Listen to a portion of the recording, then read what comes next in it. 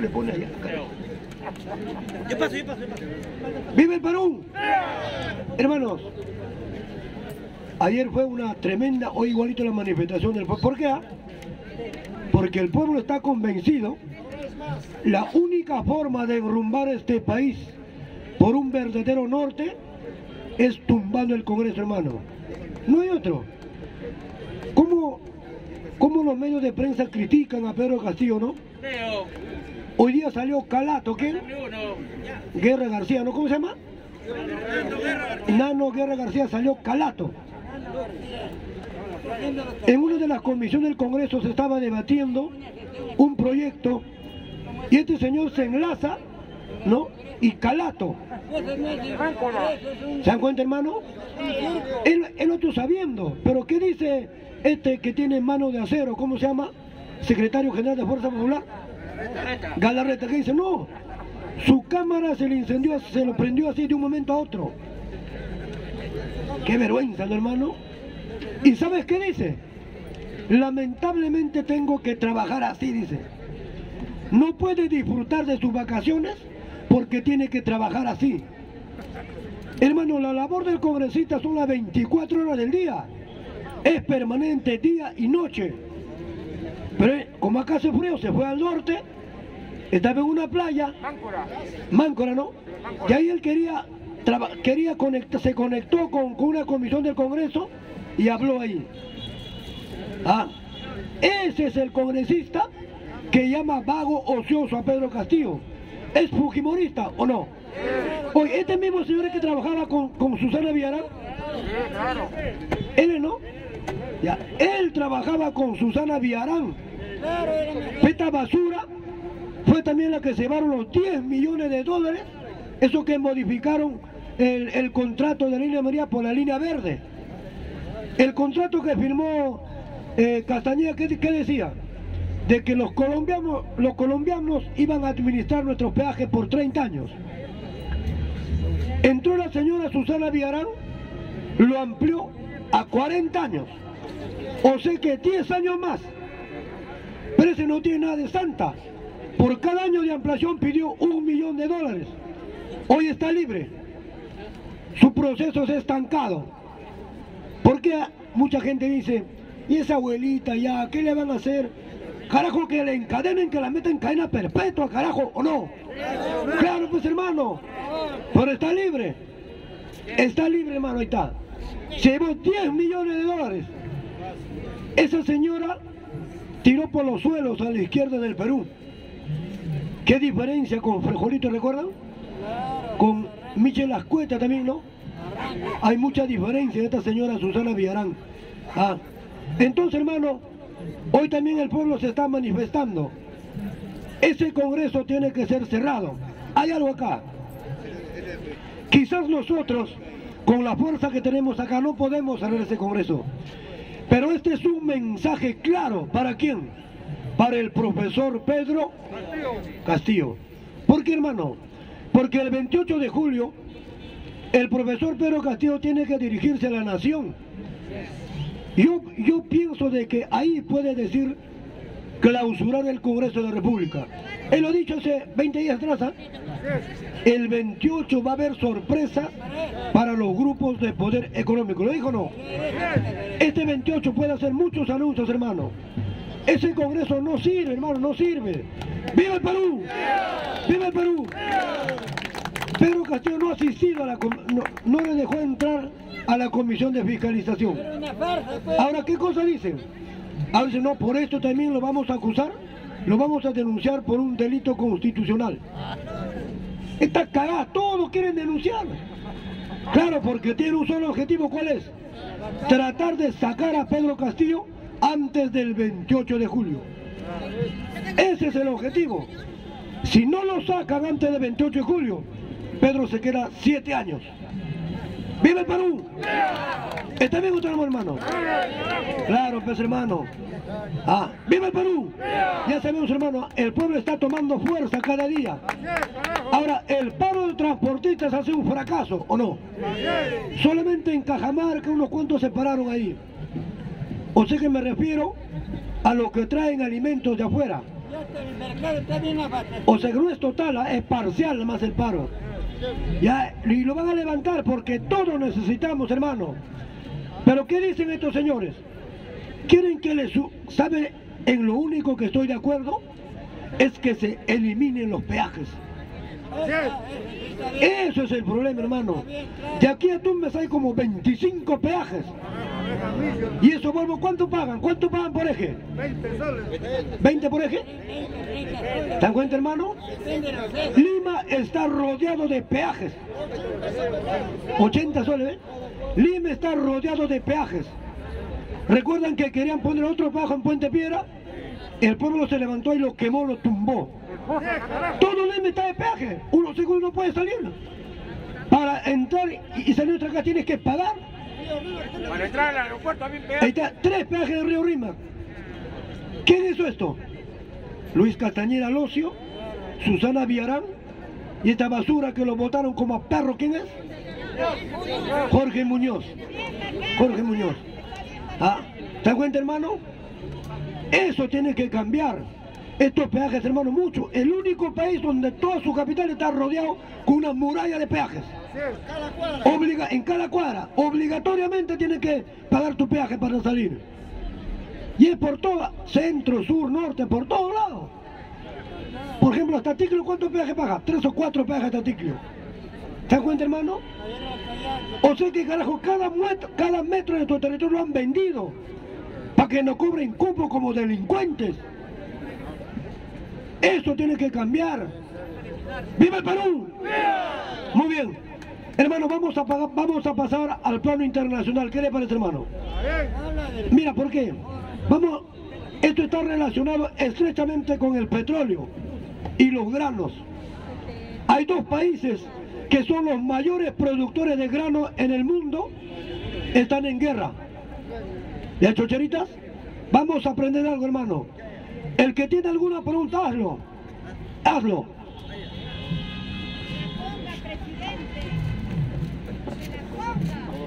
¿Qué dice acá? ¿Se o no? OTAN alista 300.000 hombres ante Rusia. Ahí está. Este que yo día, correo. OTAN alista 300.000 soldados para hacerle frente a Rusia. Me voy a explicar, hermano. El día de ayer se reunió el grupo de los siete o sea que los siete países más industrializados, ¿quiénes son? Mira, de ahí sale todo esto, mira, ¿quiénes son? Estados Unidos, ¿qué más? Reino Unido, Francia, ¿qué más? Alemania, ¿qué más? Japón, Italia, ¿no? ¿Qué más? Falta uno. Canadá, Canadá.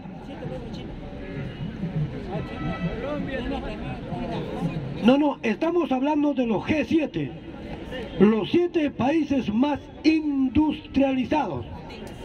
Esos se consideran los más industrializados. ¿Y China? China se los come a todo esto. ¿Y Rusia?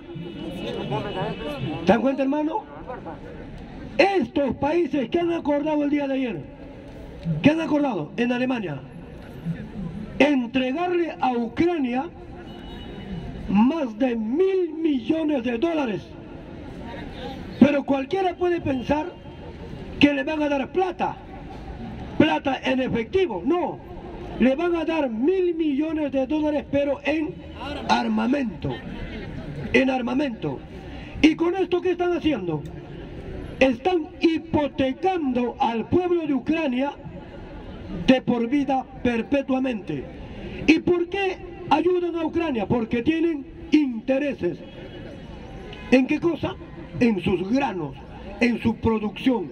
Eso es el interés de estos G7. Ahora, ¿por qué? ¿Por qué acá dice la OTAN alista 300.000 hombres para hacer frente a Rusia? porque Ucrania prácticamente ya fue tomado por los rusos. El día de ayer otra vez bombardearon la capital de Ucrania. ¿Cuál es? Kiev. Lo han bombardeado. Por eso se reunió ayer urgentemente el grupo de los G7. ¿Para qué? Para ver el avance. ¿Qué cosa dice acá?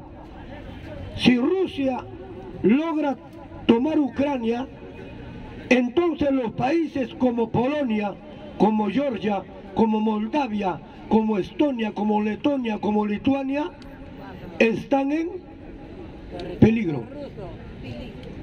Por eso están alistando 300 mil hombres. Rusia tiene más de un millón. Ah, ¿Por qué, hermano? Cualquiera puede pensar que la guerra es por Ucrania. La guerra no es por Ucrania, está tomado. ¿Sabes cuál es la guerra, hermano, que se está enfrentando allá? La primacía del dólar. Ese es el problema. La primacía del dólar, siempre lo he dicho acá. La guerra no es entre Rusia y Ucrania o Putin con Ucrania. La guerra es entre Putin y la élite mundial. Porque ellos tienen el dominio o el monopolio del dólar, que dicho sea de paso, no le pertenece al pueblo norteamericano, porque le pertenece a privados. Esa es la primacía. ¿Por qué? Porque Putin, ¿qué ha dicho? Todos lo sabemos. Si algún país de Europa o países hostiles a Rusia no me pagan por mi gas en rublos, no les voy a dar gas. ¿Y qué, qué países no están pagando? Alemania, Polonia, Bulgaria no están pagando en rublos. ¿Y qué cosa ha hecho Putin? Les ha cerrado las válvulas de gas. ¿Se dan cuenta, hermano? Entonces, si el dólar ya no va a ser tan comercial en Europa, ¿a qué moneda está perjudicando? Al dólar. Mire, hermano, El no tiene ningún valor ahorita, es puro pastel,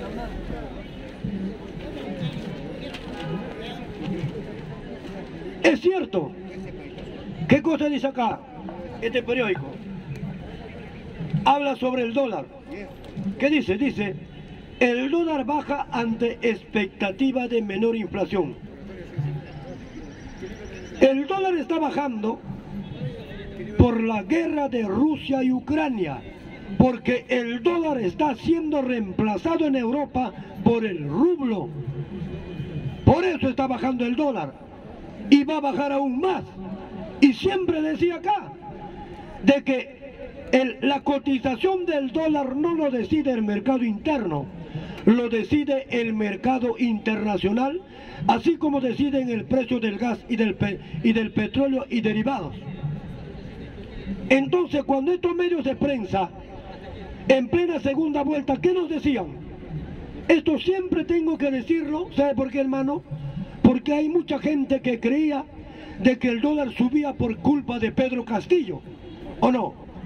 Pero es el mensaje que nos daban los medios de prensa. Pero siempre decía acá yo de que el dólar no sube por Pedro Castillo. Es cierto, paró, pasó la barrera de los cuatro soles. ¿Por qué? Porque esa bola de grasa llamado Julio Velarde no estaba cumpliendo para lo que fue creado el Banco Central de Reserva del Perú. ¿Por qué? Porque se jugaba en pared con los grupos de poder, con Keiko Fujimori. ¿Y quién era su vocero principal? Rafael López Aliaga. Esa basura que quiere ser alcalde de Lima. Ese cojudo nunca va a ser alcalde. ¿Por qué? Quiso ser presidente, no pudo ser presidente. Ahora quiere ser alcalde, ¿sí o no? Tampoco va a ser alcalde. Después va a querer ser regidor. Ni para regidor sirve esa basura. Después va a querer ser serenajo. Pero ya sé, hermano, el serenajo Lima está completo. O sea que no hay espacio para esa basura. No hay espacio. Él es el que dijo, hermano, dejen que el dólar siga subiendo para que esos indios sin alma sepan por quién han votado. ¿Cómo debe de joder esta basura eso, no? Eso dijo, cuando el dólar subía. ¿Qué decían más? Si Pedro Castillo asume la presidencia, el dólar tranquilamente va a pasar la barrera los 5 soles. Hoy el dólar está a 3.63. Y esa misma prensa ¿Por qué no dice ahora de que el dólar está bajando por culpa de Pedro Castillo? ¿Sabe por qué no dice? No es porque no le conviene. ¿Sabe por qué? Porque eso no es cierto. La cotización del dólar lo decide el mercado internacional. ¿Qué cosa nos decían acá? Miles y millones de dólares se están fugando. Los inversionistas se están llevando sus miles de millones de dólares. Falso. Guerra sucia. Terrorismo blanco. ¿Para qué? Para meternos miedo. Para meternos temor. ¿Con qué objetivo? De quebrantarnos nuestra voluntad de cambiar este país. Hoy están haciendo lo mismo con el cambio de la constitución. ¿Qué cosa nos dicen ahora? Una asamblea constituyente es ilegal, es inconstitucional. Estos quieren cambiar la constitución para que Pedro Castillo se quede en el poder, para que el Perú sea un país comunista, para que el Perú sea como Venezuela, Nicaragua y Cuba. Váyanse al carajo, allá hay dictadura, acá hay democracia, ¿o no? ¿O alguien tiene alguna duda? El que tiene alguna duda, mano, párate acá y debatimos. Usted.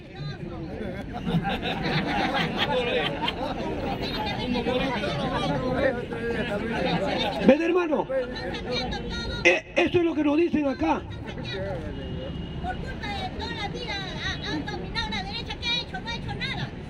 El pobre cada día va a ser más pobre. Por eso, ven, amiguita, ahí, ahí estamos hablando. Mira, entonces hermano, mira, ¿qué pasa? Aquí no hay, aquí no vamos a ser comunistas en ningún país. Lo que nosotros vamos a hacer son nacionalismo. ¿Qué cosa tenemos que hacer? Tenemos que recuperar este país. Eh, pasa, pasa acá, mamita, pasa, pasa, pasa. Pasa. ¡Viva el Perú! Pasa, pasa, pasa. Pasa acá, allá no vaya. Pasa para que hables acá, pe, mamita, acá pasa. Pasa acá. Un aplauso, un aplauso, un aplauso, hermano. A ver, ahí está. ¿Cómo te llamas? ¿Cómo te llamas? A ver, mire, realmente muchas veces acá nos engañan. ¿Para qué? Cuanto más muchachos que no hayan estudiado, ignorantes, más nos van a engañar. ¿Qué quieren acá? Los grandes inversionistas y otros países que tienen, como dice acá, este, quererse llevar nuestra riqueza, no les conviene que haya gente preparada, gente instruida, que defienda su derecho. Cuando todos se lo hayan saqueado, ya no hay nada, nada quede, ahí recién van a reaccionar demasiado tarde. ¿Ya? Así que acá todavía nos engañado que comunismo, que comunismo. Aquel que defiende su derecho acaso es un comunismo. Acá nunca ha habido comunismo. Ya, nunca ha habido comunismo. Ni de repente, como dicen, ni habrá. Pero sí, hay que defender nuestra patria de aquellos que se quieren enriquecer. Viene un extranjero, acá se enriquece. Viene un extranjero, acá mata, asesina. La están matando a la gente y ustedes no salen a protestar.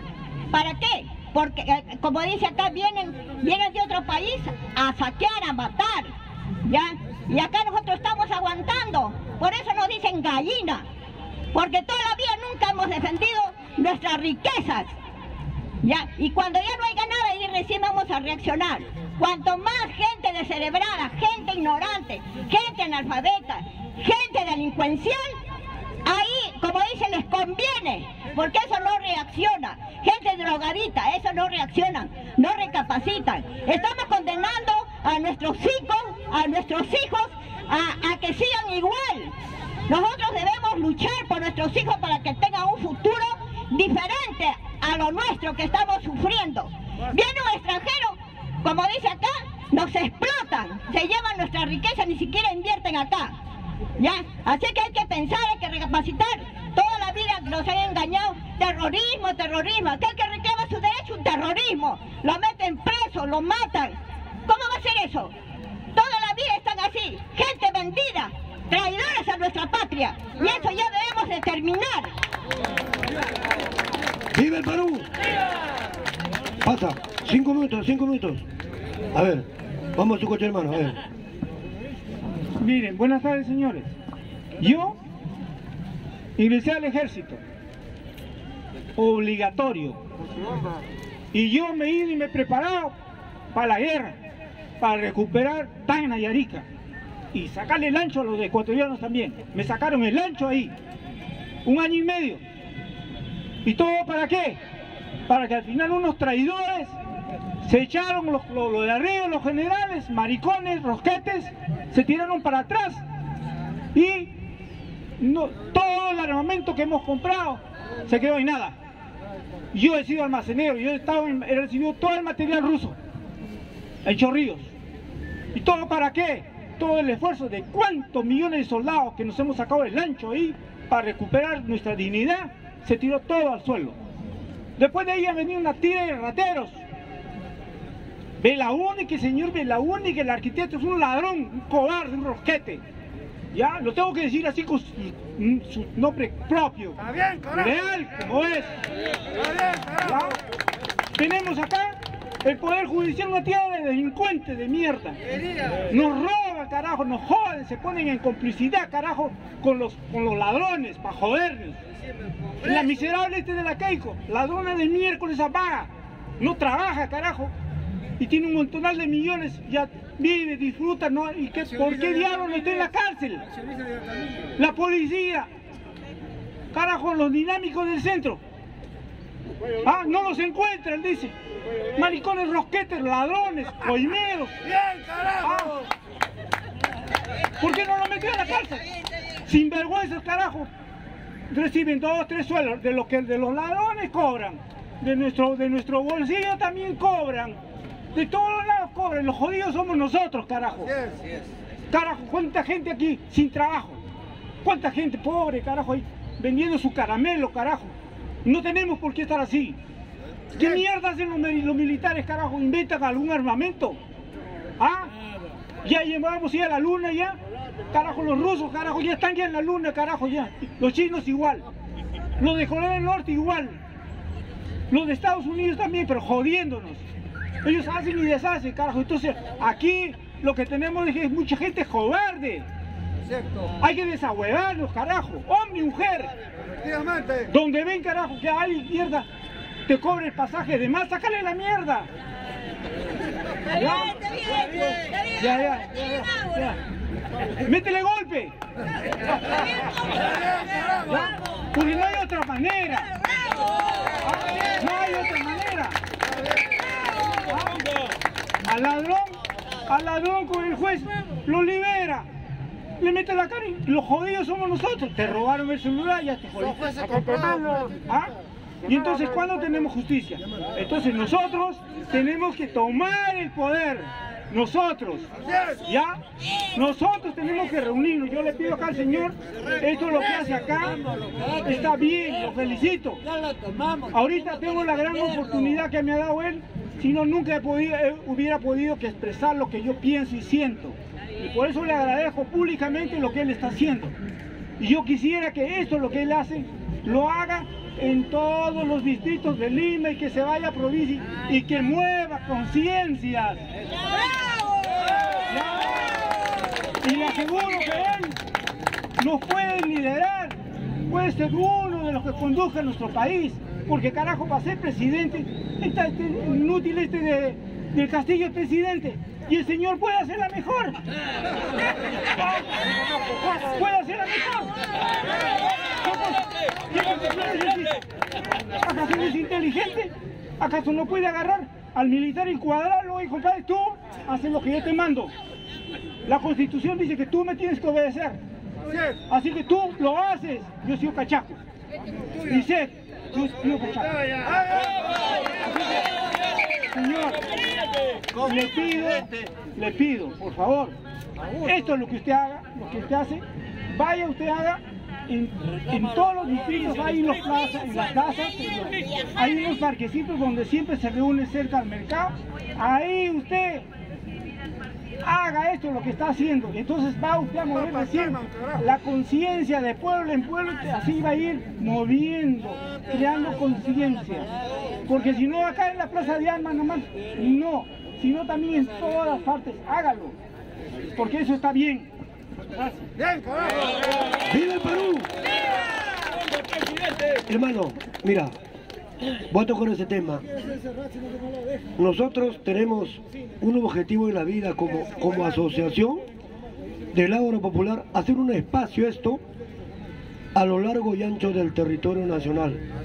Pero ¿sabe lo que falta acá, hermano? Acá falta financiamiento. Ese es el principal escollo, lo que lo vamos a vencer. Nosotros teníamos una esperanza, una ilusión con Pedro Castillo. Yo voté por Pedro Castillo. Él vino acá en la primera vuelta, vino acá.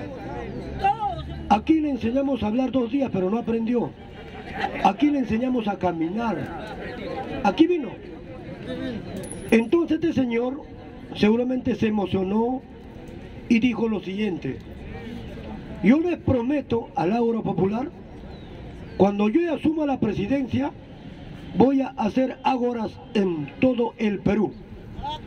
Esa es la palabra de este profesor en quien todavía tengo sueños, ilusiones, esperanzas. Eso es lo que todavía no he perdido, hermano. Pero no hacen nada. No. Esto es para los asesores de Pedro Castillo. Pedro Castillo llegó donde está por este espacio. Este espacio lo hizo famoso. Este espacio lo lanzó cuando nadie lo conocía.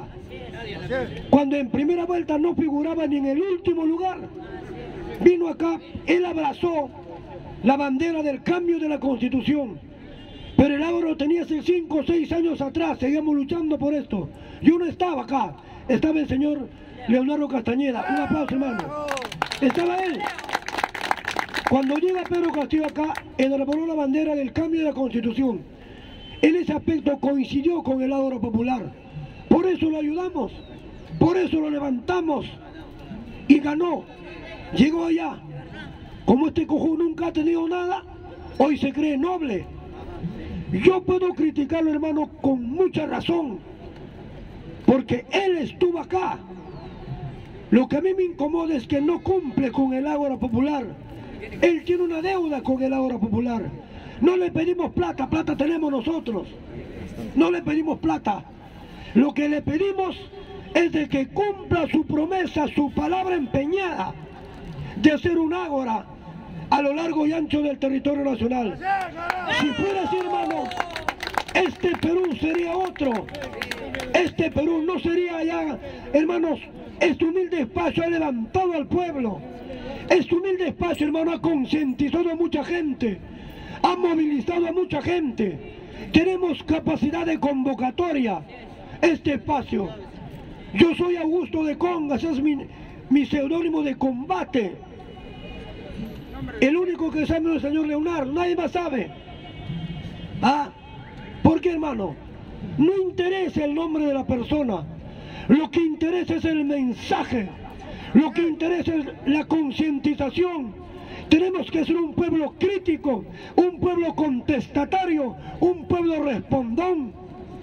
Ya no debemos estar, hermano, agachados, humillados, ya no. Esos tiempos se acabaron. Esos tiempos se acabaron.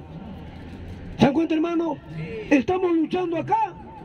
Hay un grupo de Laura que está allá. Ayer hemos estado hasta las 8 de la noche.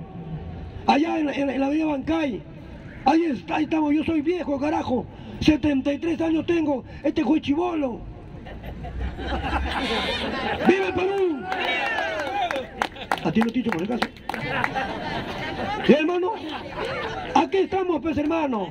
Aquí estamos, hermano. Estamos haciendo algo por este Perú. Estamos haciendo algo por este país. ¿Por qué estoy acá yo, hermano? Yo quiero cambiar la constitución. Especialmente los capítulos económicos. Yo quiero modificar la constitución.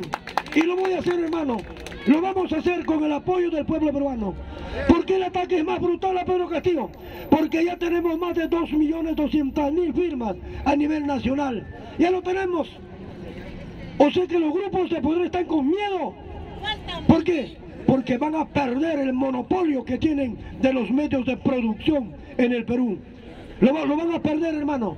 Los chilenos deben ser arrojados de este país. Porque ustedes son dueños de todo, hermano. El señor ha sido un soldado, yo también era soldado. Con esto termino. Juan Velasco dijo así. Es que los jóvenes no saben. A nuestros jóvenes nos han mentido totalmente. Han tergiversado nuestra historia. Totalmente, hermano. Juan Velasco Alvarado tenía por objetivo invadir Chile. Lo ha dicho el señor. 5 de octubre de 1975 era el día de. Es por eso que este señor Velasco nacionalista, el 6 de junio de ese mismo año, se dirigió a la región de Acero, Arequipa, a La Joya. ¿Para qué? Porque ahí estaba la tropa de élite que iba a dar inicio a la invasión a Chile. Con esta frase los arengó. ¿Y para qué iba a invadir a Chile? Para recuperar nuestros hermosos balnearios de Iquique, Pisagua, Tarapacá, Arica y Antofagasta hubiese sido territorio peruano. ¿Por qué? Porque esos cobardes bolivianos entonces nos abandonaron en plena guerra.